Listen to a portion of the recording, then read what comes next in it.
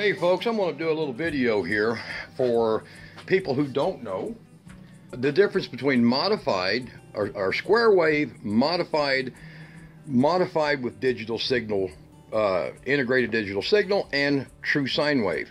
There are different levels of square wave inverters as well as a true sine wave like this one. Now, every time I do a video, I'm going to put links down there so that you can go find items like this or these and you can read the specs.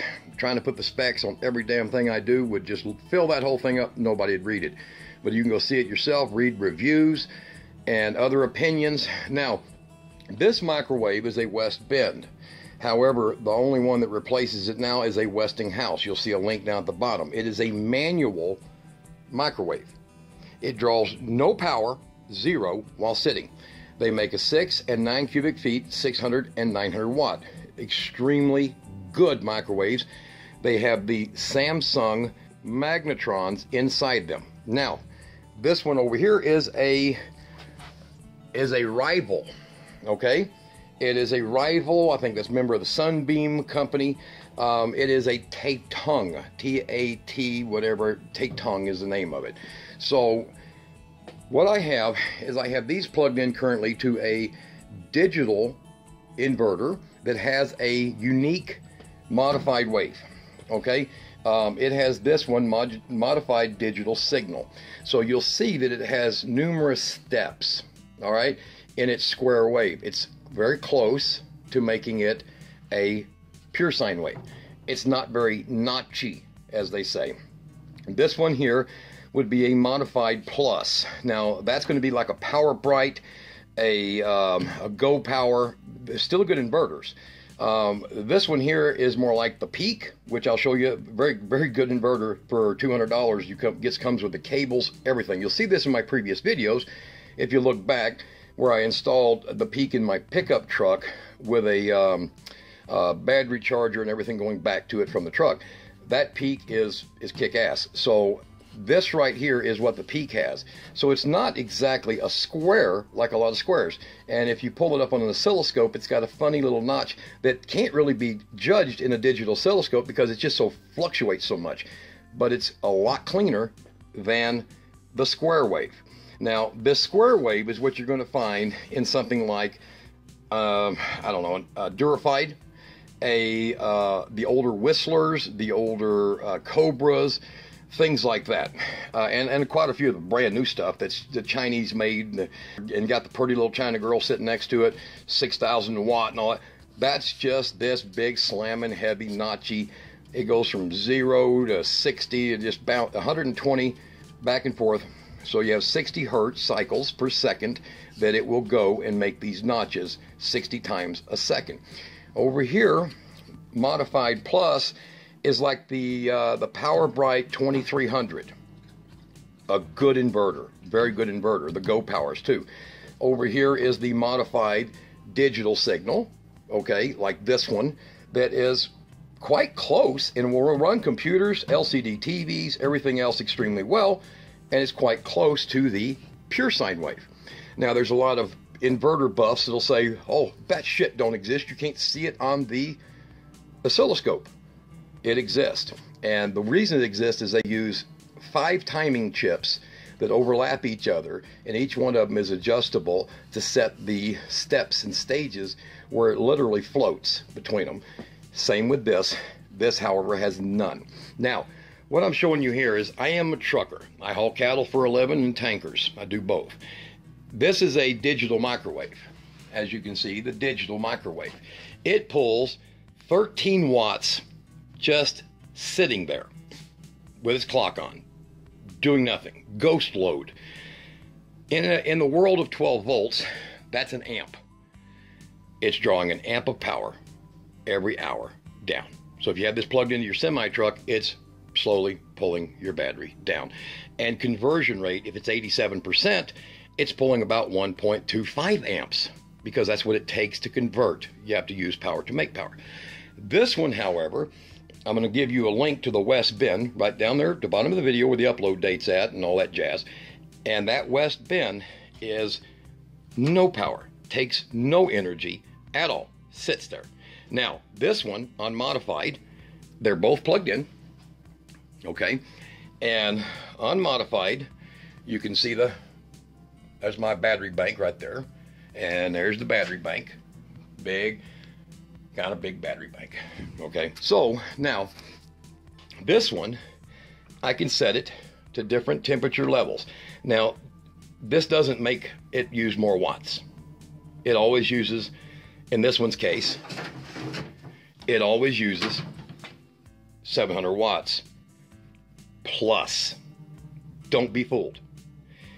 It actually uses 1.9 times that, and that's the general industry rule 1.9 times.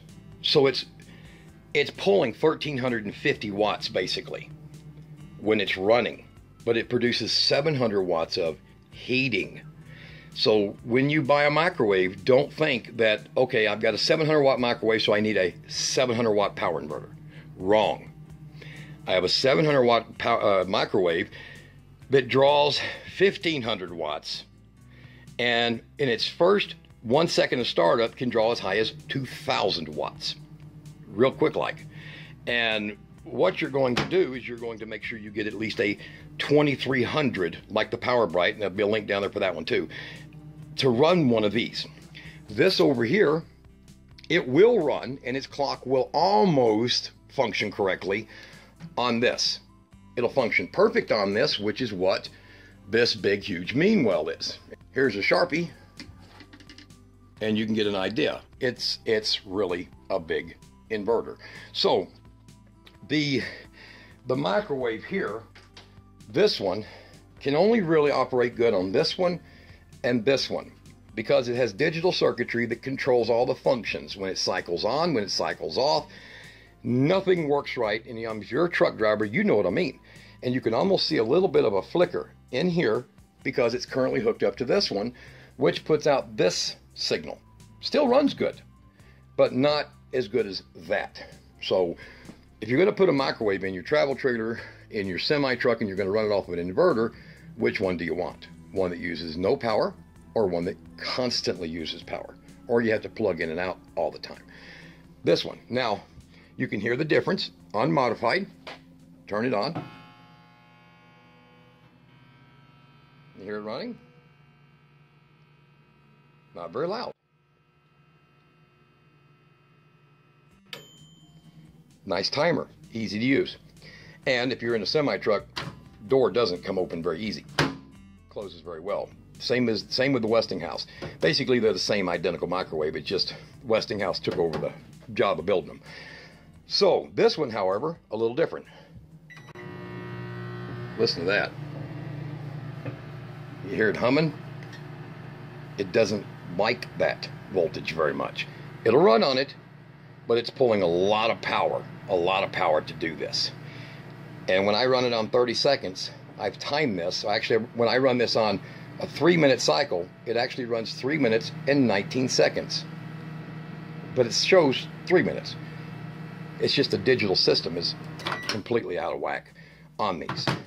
Now, when you decide that you're going to get a microwave for off grid, tiny home, anything that's going to use and you want to reduce your power usage, that'll run you almost five bucks a year just plugged in. And if you got a bigger microwave, they'll run more. They got a ready circuitry that makes them always ready. This, however, six cubic feet to nine cubic feet, which is a lot, has plenty of room.